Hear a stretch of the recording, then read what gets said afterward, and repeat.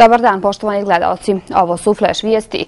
Danas se navršavaju četiri mjeseca od kako je isekao rok za uklanjanje spomen table Aćifu Hadži Ahmetoviću, poznatijem kao Aćif Efendija.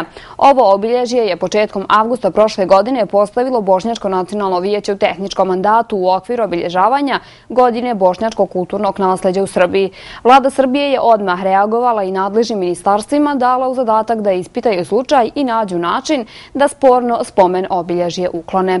Nakon toga usledio je vanredni inspekcijski nadzor kojim je utvrđeno i činjenično stanje i naložene mjere.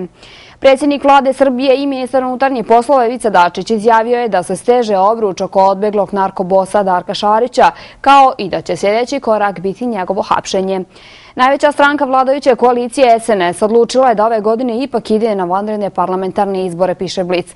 Sljedeći premijer tako bi mogao biti Vučić. Blic piše i da su već u opticaju dva datuma za vanredne parlamentarne izbore, april ili september. Međutim, konačna odluka o održavanju vanrednih parlamentarnih izbora zavisit će od razvoja pregovora sa Kosovom i Evropskom unijom, saznaje taj list iz izvora bliskih vrhu vladajuće koalicije. Zajednička sjednica vlade i predsjednika Srbije o platformi o Kosovu koja bi trebalo da bude održana danas još nije zakazana. Moguće je da će biti održana sutra.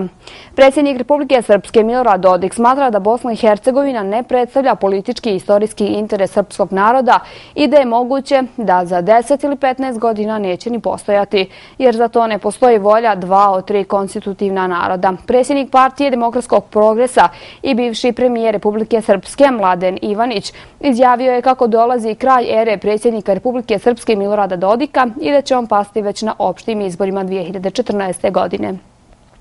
Predsjednik Egipta Muhamed Mursi izjavio je da u Egiptu okončana era kada su građani bili hapšeni zbog njihovog političkog uvjerenja. U saopćenju predsjedništva Egipta navodi se da je predsjednik Mursi poručio kako niko u Egiptu ne smije biti hapšen zbog njegove političke orijentacije. Stopa nezaposlenosti u eurozoni porasla je u novembru na rekordnih 11,8%, pokazuju danas objavljeni podaci Evropske agencije za statistiku Eurostat.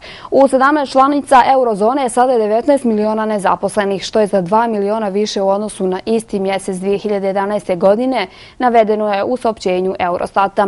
U Zanđaku danas prijetežno sunčano, minimalna temperatura minus 7 stepena, maksimalna dnevna do minus 1 stepen. Poštovani gledalci, hvala na pažnji i prijatno. U Sanđaku danas prijetežno sunčano, minimalna temperatura od minus 7 do minus 1 stepen. Poštovani gledalci, hvala na pažnji i prijatan dan.